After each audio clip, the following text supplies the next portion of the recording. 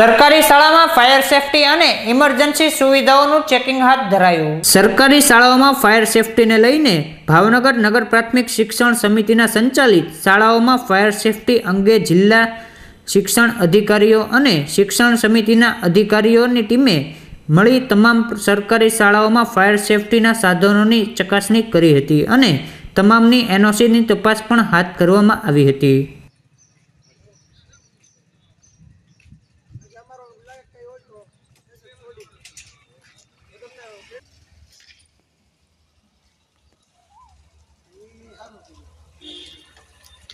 ચાલો સર હિરેન ચૌહાણ મંતવ્ય ન્યૂઝમાંથી.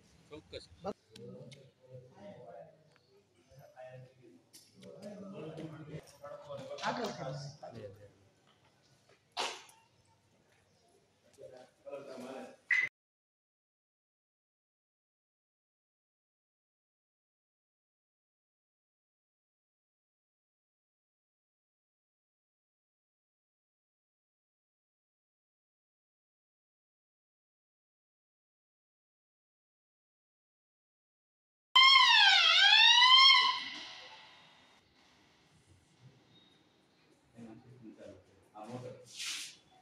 મળી જાય છે પાંચ વર્ષ સુધી ચાલે એટલે ખર્ચો વર્ષે ત્રણસો નો થાય છે એટલે તો ઈ જ કહું છું કે જઈ આવો ભાઈ જો આવો છો. એના વીડિયો બે મારી લેજે પછી આવેલું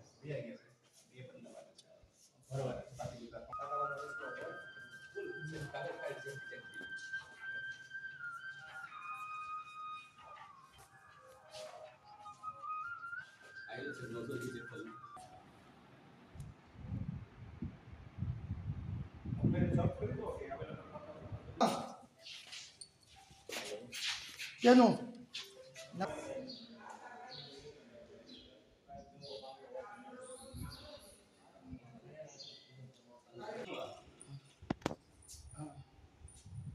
બૂમ કાઢ ભાઈ હા નથી નથી મેં અમારે કામ નથી.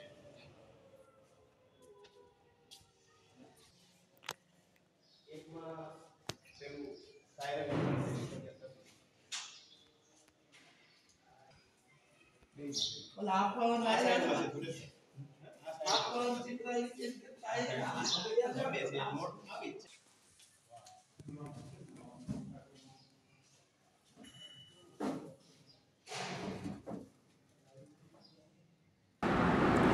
અ, મુંજાલ બડમલિયા શાસનાધિકારી નગર પ્રાથમિક શિક્ષણ સમિતિ ભાવનગર હાલમાં નગર પ્રાથમિક શિક્ષણ સમિતિ અડસઠ જેટલી શાળાઓ છે.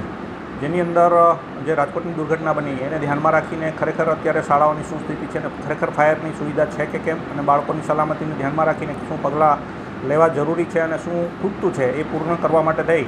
અને ગઈકાલ સાંજથી તમામ શાળાઓનું હું પર્સનલી અને રૂબરૂ જઈને ચેકિંગ કરીએ છીએ. સરકારશ્રીની જે સૂચના છે એ ખરેખર શાળાઓની વાસ્તવિક પરિસ્થિતિ જો જાણીએ તો આપણને ખબર પડે કે શું કરવા જેવું છે કે શું ખૂટતું છે. જેને ધ્યાનમાં રાખીને ગઈકાલે સાંજથી અત્યાર સુધીમાં અમે લગભગ અઢારથી વીસ સ્કૂલોની મેં જાતે રૂબરૂ મુલાકાત લીધી છે. એ સિવાય અમારા બીઆરસી કોર્ડિનેટર સીઆરસી કોર્ડિનેટર દ્વારા શાળાઓની રૂબરૂ ચકાસણી કરવામાં આવે છે. ખરેખર ત્યાં જે સુવિધા ઊભી કરવામાં આવેલી છે એ ચાલુ હાલતમાં છે કે કેમ?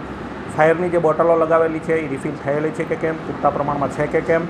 આ સિવાય કોઈ અસલામતી કે દુર્ઘટનાગ્રસ્ત બની શકે એવું ક્યાંય બાંધકામ છે કે કેમ? એ તમામ બાબતોની ચકાસણી અમારી સમગ્ર ભાવનગરની અંદર ટીમો દ્વારા કરવામાં આવેલ છે.